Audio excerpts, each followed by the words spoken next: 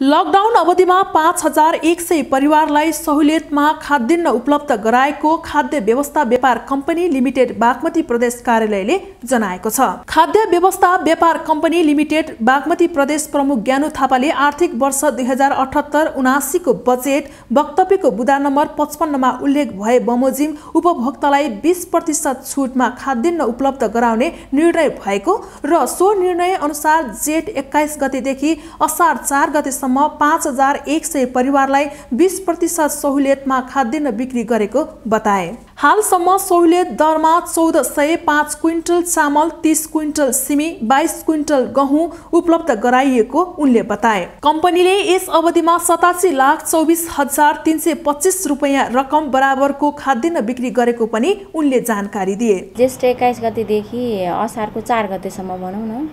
हामीले यो प्रादेशिक कार्यालयको तिनवटा बिक्री आउटलेटहरू छ जस्तो सूर्य विनायक अनि नक्खु र यो थापाथलीमा। हामीले यो तिनवटा बिक्री कक्षबाट चार गतेसम्म एकाउन्न सय परिवारलाई हामीले छुटमा खाद्यान्न उपलब्ध गराएका छौँ र त्यसमा चामलमा भन्नुपर्दा चौध सय पाँच क्विन्टल सिमी तिस क्विन्टल र गहुँ बाइस क्विन्टल।